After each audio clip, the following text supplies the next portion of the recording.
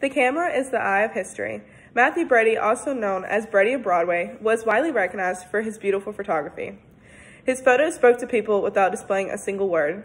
Brady reshaped the communications industry by training with artist William Page, capturing monumental moments of history by photos, and providing beautiful documentation in national museums. Using many reliable sources, I have learned about Mathew's entire life, including childhood, education, and relationships. Today I will tell you a little bit about Mathew's background and how he started to become an artist, and finally how he was the most known man capturing the Civil War. Mathew Brady was born on May 18th of 1822 in Warren County, New York, by his two Irish parents, Andrew and Julia. At 16 years old, he found the passion of artistry and allowing him to pursue help by William Page, who helped teach Mathew how to paint and draw. His artistry was not long-lived because he became a clerk at the A.T. Stewart department store with many years of manufacturing of a jewelry, jewelry case in 1843. Mathew went to New York City with William, where they met Samuel Morse. With these experiences, Mathew shaped the communication industry by training with both of these fellow men, Morse and Page. Samuel was one of the first few to practice using a daguerreotype. Daguerreotype is a form of photography in which the photo is formed onto metal. With Mathew made this part of his expertise, he later opened a studio at the corner of Broadway and Fulton Street in 1844. This being why his nickname is Brady on Broadway, showing that his studio was quite successful. Every child has a dream. To pursue the dream is in every child's hand to make it a reality. Samuel Smith wrote this, in theory, about Mathew because of his excellent behavior and learning abilities. With Samuel teaching Mathew all the tips and tricks about the daguerreotypes, he was able to win medals every single year from 1844 to 1850. During this time, he was given the opportunity to photograph every single U.S. president but William Henry, who died of pneumonia just 31 days into his term.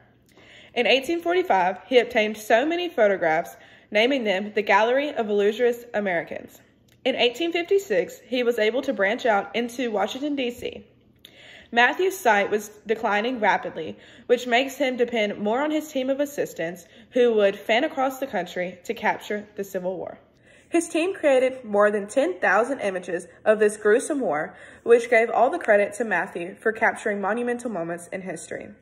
He was using all his own money to finance this team for the photography, which was believed to be over $100,000. After the war was over, not being able to carry the weight of the storage bill, Mathew sold all his paintings in an auction. With all the beautiful photos sold and out of his possession, he provided beautiful documentation in national museums. By this time, he had a wife named Juliet Handy, but they were never successful in having children. This would be after Mathew's health declined. In 1895, Mathew su suffered from two broken legs from a car accident. He never fully recovered and later died January 15th of 1896. After the death, people's interest in him increased because of his work and a major influence on the document movement in photography in the Depression era of the 1930s. In October of 2012, the National Museum of Civil War Medicine displayed 21 original photographs. In October of 2012, the National Museum of Civil War Medicine displayed 21 original photographs from the 1862 Civil War. Mathew's life was an excellent one, considering his life is still talked about to this very day. In summary, Brady reshaped the communication industry by training with artist William Page, capturing monumental moments in history by photographs, and providing a document in national museums.